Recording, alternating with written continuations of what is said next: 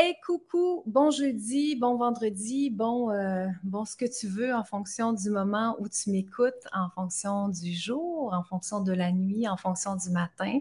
J'espère que ça se passe bien pour toi, pour ta grossesse, pour dans le fond tout le déroulement et que tu es le plus proche possible de ce que tu as envie de vivre. Alors dis-moi, comment ça se passe pour ton ou ta conjointe ou pour toi, parce que peut-être que tu m'écoutes et que tu es là ou là, le ou la conjointe. Il y a un phénomène qui existe depuis toujours et qui est particulièrement documenté depuis quelques années, qui s'appelle la couvade. C'est ce dont j'ai envie de te parler. C'est un phénomène, dans le fond, qui, euh, qui, qui est assez extraordinaire parce que ce que ça nous démontre hors de tout doute, c'est qu'effectivement, il y a pour les partenaires, pour les, les coparents, une, une expérience qui est vécue à travers l'accouchement, à travers le prénatal, à travers le postnatal. Et c'est de ça dont j'ai envie de te parler. Donc, euh, pourquoi c'est important? Ben, c'est important parce que ça peut avoir un gros, gros, gros impact sur toi, gros impact sur ton ou ta partenaire et un gros impact sur l'accouchement, un gros impact aussi sur le postnatal parce que dans le fond, ça, crée des symptômes, ça crée des, des, réalités qui sont là et qui peuvent être vraiment très envahissantes. Alors, c'est quoi le syndrome de la couvade? C'est un phénomène qui fait que, en tant que copartenaire, que je sois un homme ou une femme, c'est un phénomène qui fait que je vais vivre des symptômes de grossesse. C'est pas une joke, là. Hein, là, tu es peut-être en train de dire, voyons, est en train de me raconter n'importe quoi. Non, non, non. C'est vraiment un phénomène qui a été, euh, qui a été euh, euh, observé à de nombreuses reprises. Et c'est quoi le pourcentage des hommes, des femmes, des coparents qui vont vivre ça? Ben, il y a entre un parent sur quatre, selon les études, à un parent sur deux, selon d'autres études. Donc, c'est quand même un phénomène qui est très fréquent. C'est un phénomène qui, qui mérite à ce qu'on s'y intéresse finalement. Donc, c'est quoi ces, caractéristiques-là, les, symptômes que vous pouvez observer? Premièrement, il y a une prise de poids qui est souvent dans les symptômes qui sont importants. Prise de poids, il y a aussi le fait d'avoir mal aux dents, d'avoir mal au ventre, hmm, d'être plus émotif. On, voit, on observe que les partenaires sont souvent plus émotifs. Donc, ça fait partie des, euh, choses qu'on observe comme, euh, comme différence. Les brûlures d'estomac, il y a beaucoup de choses, les mots de dents, je ne sais pas si je t'ai dit, ça, ça fait partie des choses qui sont les plus documentées. Les mots de dents des coparents pendant la grossesse, euh, c'est vraiment intéressant. Donc là, ça serait intéressant que, qu'on se questionne à savoir, oui, mais comment c'est possible? Qu'est-ce que c'est que cette histoire-là, que mon ou ma partenaire ait des symptômes de grossesse alors que mon bébé est dans mon bedon? Qu'est-ce qui fait que ça peut être possible? Ben, il y a, il y a deux principales hypothèses. La première hypothèse, c'est une hypothèse qui est hormonale. C'est-à-dire que, et ça, j'y crois volontiers. Je ne sais pas si tu as déjà remarqué, peut-être que dans ta maison, il y a en fait des d'autres femmes que toi. Ou souviens-toi, quand tu étais petite, peut-être que tu habitais dans une maison où tu étais avec ta maman et où tu avec plusieurs de tes sœurs. Donc, quand il y a plusieurs femmes qui sont au même endroit, les hormones vont souvent se, se réorganiser et, par exemple, les cycles vont devenir euh, euh ensemble, ils vont s'organiser pour se manifester ensemble. Donc, effectivement, une des raisons pour lesquelles la couvade est là, il y aurait une raison hormonale qui ferait qu'entre autres, les partenaires, si c'est un partenaire homme, va euh, créer, va avoir moins de testostérone à l'intérieur de lui hmm, et va créer plus de prolactine en étant en contact avec son amoureuse et que ça pourrait créer un certain nombre de, de symptômes, dont le fait d'être plus émotif à travers les, euh, à travers les, les, mois qui passent, à travers tout ça. que donc, c'est, c'est dans le fond, c'est l'hypothèse qui est la plus documentée. Maintenant, moi, je pense qu'il y a une autre hypothèse qui est encore plus intéressante à laquelle on peut, euh, on peut se, se, se questionner, et c'est le manque de rituels dans nos sociétés on manque de rituels, on manque de sens dans nos sociétés. Et je pense que c'est une des raisons pour lesquelles on voit beaucoup de syndrome de la couvade. C'est-à-dire que les partenaires, souvent, n'ont plus de rôle actif à travers la, grossesse et à travers l'accouchement.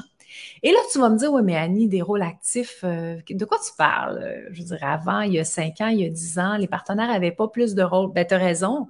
Il y a cinq ans, il y a dix ans, il n'y avait pas plus de rôle, même il y en avait peut-être encore moins, parce qu'ils ne pouvaient même pas entrer dans la salle d'accouchement et il n'y avait pas non plus autre chose qu'ils pouvaient vraiment faire concrètement. Mais si on va encore plus loin que ça, hein, puis si on va à, nos origines, on se rend compte que les partenaires avaient un très, très, très grand rôle. Par exemple, dans les communautés, euh, on va dire primitives, mais je ne dis pas ça de façon péjorative. Par exemple, les partenaires, euh, les hommes en fait de la tribu, pas seulement le partenaire, mais les hommes de la tribu, lorsqu'une femme est en train de donner naissance, les autres femmes du clan allaient aider, accompagner cette femme-là. Et le partenaire et les hommes du clan se mettaient à distance pour former un très grand cercle autour de, autour de la mer. Puis là, quand je te dis grand cercle, c'est grand, grand cercle. C'est pas cercle, genre la femme est en train d'accoucher puis elle voit tout le monde autour du cercle. Non, non, non, non. C'est un cercle très, très grand qui fait tellement grand que ce cercle-là n'est pas euh, visible, n'est pas perçu par la femme qui est en train de donner naissance. Et à quoi servait ce cercle-là? Bien, il servait à préserver, à protéger la femme. C'est-à-dire que là, imagine-toi une femme qui donne naissance dans la brousse, peut-être toute seule. Hein. il y a certaines, euh, certaines tribus où les femmes donnaient naissance complètement toutes seules. Je dis, je dis, je dis donner à l'imparfait, mais c'est probablement encore le cas aujourd'hui.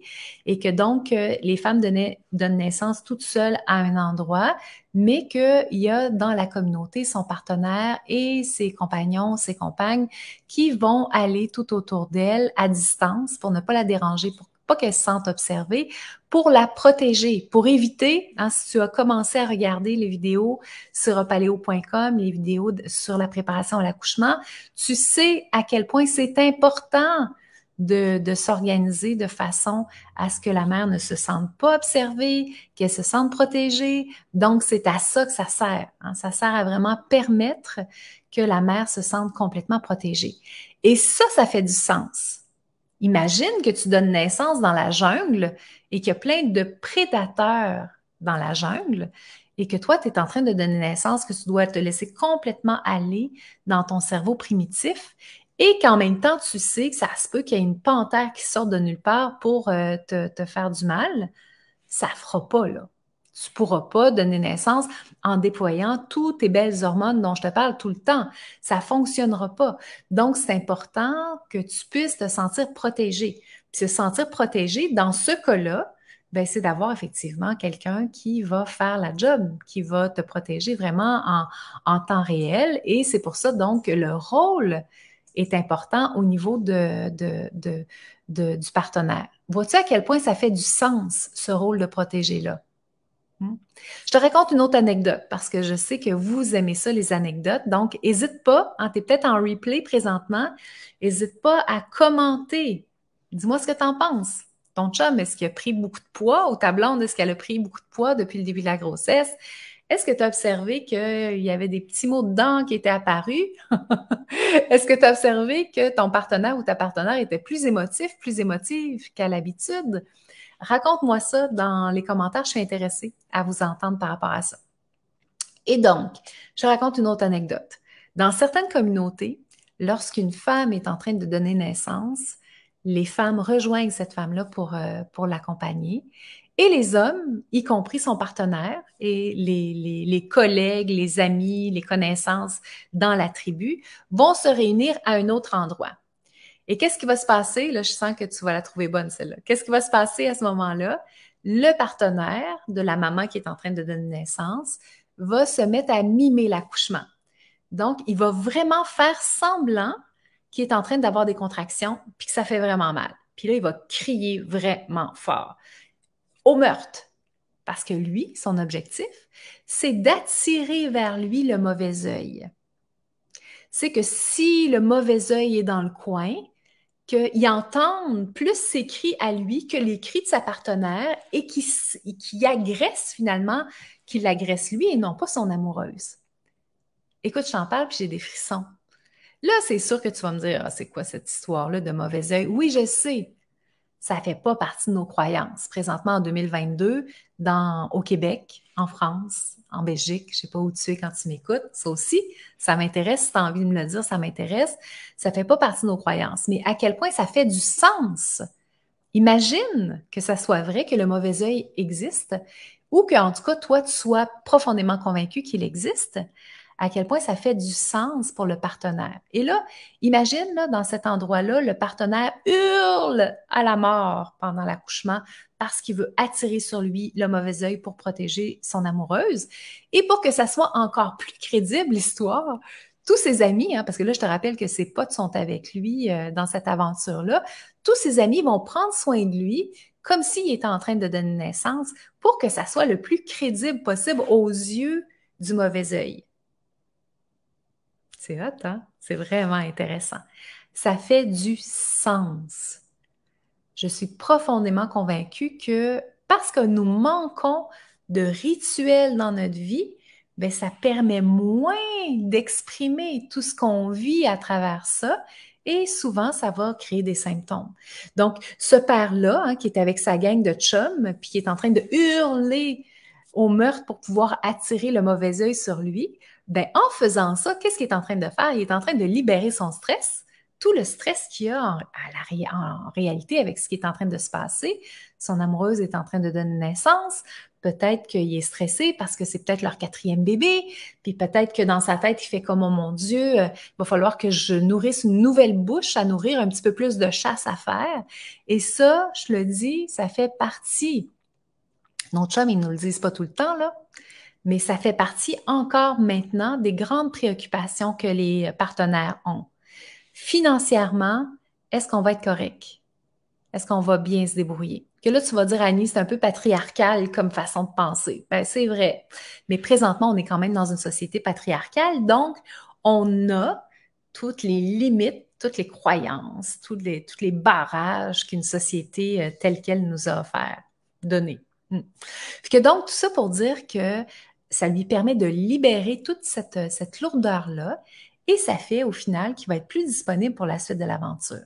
Que maintenant, en 2022, bien entendu que j'imagine assez mal ton conjoint aller dans la chambre voisine euh, dans un hôpital et se mettre à hurler à la mort puis d'inviter ses chums pour pouvoir l'aider dans ce processus-là. Ça serait peut-être un rituel qui serait un peu moins adapté présentement.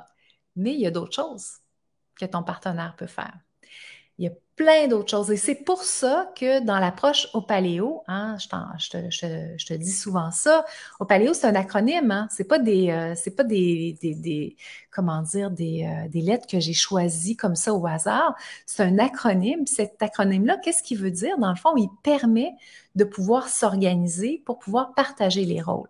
Et vois-tu, si on regarde ici le OPA et le Léo. Le OPA, ce sont les rôles du de la partenaire ou et en fait de toutes les personnes qui sont autour de la femme qui est en train de donner naissance. Donc, organiser, protéger, accompagner. Donc, le OPA, ce sont les rôles du ou de la partenaire. Et là, tu vois, le, le O de OPALEO, le premier O, c'est organiser. Le P, c'est protéger.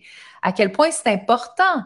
Après, si ça c'est fait, la femme qui est en train de donner naissance, la personne qui est en train de donner naissance va pouvoir libérer tout son plein potentiel parce qu'elle va se sentir protégée. Et plus le partenaire ou la partenaire va avoir en fait un, rôle clair dans sa tête, qui va savoir qu'est-ce qu'il peut faire pour pouvoir aider, pour pouvoir soutenir, plus il va être dans l'action, puis là on va se le dire, il a besoin d'un plan de match. Pourquoi il a besoin d'un plan de match, ton ou ta blonde ou ton chum? Ben, parce que probablement qu'il n'a jamais assisté à un accouchement. Ou en tout cas, s'il est allé à un accouchement, il n'est pas allé à 18 accouchements, pas mal certaine. À moins que ton chum soit infirmier ou médecin, c'est probablement pas le cas. Il a besoin d'un plan de match. Et qu'est-ce qui va se passer avec un plan de match? Il va pouvoir s'impliquer. Plutôt que somatiser puis créer plein de symptômes, il va canaliser cette énergie-là, il va être beaucoup plus rassuré. Toi, tu vas être beaucoup plus rassuré et il va mettre au loin l'impuissance. Hey, c'est tannant ça! Arriver à un accouchement puis pas trop savoir quoi faire. Pendant la grossesse, tu vois ta blonde qui est en train de se préparer. Toi, tu aimerais ça faire quelque chose, mais tu trouves ça plate parce que tu sais pas vraiment ce que tu peux faire. C'est pour ça qu'Opaléo existe. C'est un plan de match qui est concret, qui est précis et qui te dit exactement qu'est-ce que tu peux faire pour euh, te préparer au maximum à l'accouchement, mais comment vous pouvez faire ça en équipe? Parce que si tu as un ou une partenaire, ben, pour pas qu'il explore plus le syndrome de la couvade, c'est ce qu'on espère, il faut qu'il soit dans l'action Et il faut qu'ils puissent parler de ce qui se passe. Mais évidemment, pour parler de ce qui se passe, parler de mes émotions et compagnie, c'est plus facile si on est dans une démarche. Si vous êtes dans une démarche de préparation à l'accouchement ensemble et que, par exemple, mettons, par exemple, là, je vois beaucoup, il y a beaucoup de couples qui me disent, ah, nous, ce qu'on fait, c'est qu'on écoute les vidéos, on écoute une vidéo de 5-6 minutes, après, on s'arrête tout de suite, on en parle, on intègre, on fait, ah, tiens, tu as entendu telle chose, c'est intéressant, qu'est-ce que tu en penses? Comment tu te sens par rapport à ça? Et là, on progresse non pas seulement dans nos connaissances, et ça, c'est une grosse différence avec les rencontres de préparation à l'accouchement que je fais dans mon bureau en personne. Bon, je vais être honnête avec toi, j'en fais plus beaucoup parce que les gens comprennent bien que c'est beaucoup plus avantageux pour eux autres avec la formule hybride de paléo que de venir me voir dans mon bureau. Pourquoi? Mais parce que dans mon bureau, je te raconte finalement quelque chose, je te donne des informations. Mais là, il faut que tu retiennes tout ça. Tu n'as pas moyen d'aller euh, réviser toutes ces connaissances-là, ce qui est quand même un, bon petit souci quand on arrive près de l'accouchement. Et tu n'as pas le temps d'intégrer et de te questionner après chacune des étapes parce que là, moi, je suis là pendant une heure avec toi, puis je te garoche un maximum d'informations pour que vous ayez, vous en ayez le plus possible. Ce qui n'est pas un problème, évidemment, avec la méthode hybride, parce que là, vous écoutez les vidéos, après les vidéos, vous réfléchissez, vous retournez regarder une autre petite vidéo, après, on revient dans, en les directs, on se rend compte à travers euh, la communauté et compagnie. Donc, il y a un processus, et ça, au niveau du syndrome de la couvade, ça aide énormément parce que le partenaire est dans l'expérience il a son mot à dire, c'est important. Il se questionne à savoir qu'est-ce qu'il veut faire, qu'est-ce qu'il veut pas faire, comment il veut le faire. Et ça, ça donne moins de place à une situation où il va avoir plus de, de gestion émotionnelle, de gestion émotionnelle qui sont débordantes. Donc, je t'embrasse très fort. Je te donne rendez-vous la semaine prochaine pour parler ensemble de, des douleurs en lien avec euh, la grossesse, mal aux hanches, mal aux cuisses. Je vais te proposer en fait des positions. On va aller dans le concret. Je vais prendre mon coussin. Je vais te montrer tout ça, comment faire pour optimiser le plus possible ton confort pour que tu sois euh, le plus possible confortable d'ici l'accouchement. Un. Deux, que ça favorise le plus possible une bonne position pour ton bébé. Et trois, que tu sois pas obligé d'avoir 86 oreillers dans ton, euh, dans ton lit d'ici la fin de ta grossesse. Donc, n'hésite pas à mettre un commentaire euh, dans les commentaires. Ça me fait toujours plaisir de vous lire. Je vous embrasse très fort puis je te dis à jeudi prochain.